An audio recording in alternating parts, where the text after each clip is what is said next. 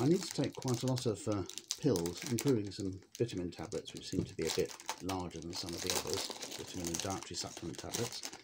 So I use a seven day pill an box, but over a period of time they do wear a bit. Um, this one's quite interesting though, because it's one that's adapted for use for travelling, and it's got an allegedly waterproof case that everything goes in. You'll notice that instead of having sensible words on, it's got pictures on, but these pictures are all reasonably self-explanatory, obviously morning, noon, evening, and going to bedtime.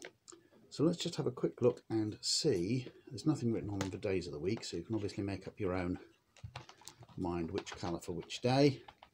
Um, logically, you run from Sunday through to Saturday. So let's have a look and see how big the compartments are. They're reasonably well fastened.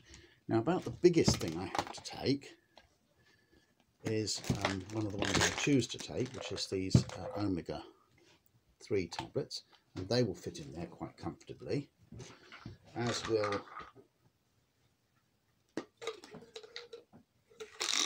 my vitamin tablets.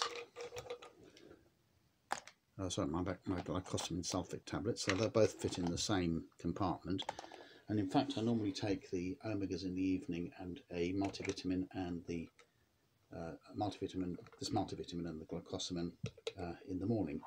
Uh, and I also have some medical tablets, but they're all a bit smaller, so plenty big enough for most people's normal tablets. Uh, if you have a particularly large number of large tablets, this won't be suitable, but for most of us, this will be absolutely fine. And it's quite nice to have this ready for when I next need a new pillbox. Also, it looks a little bit better than my current travel one.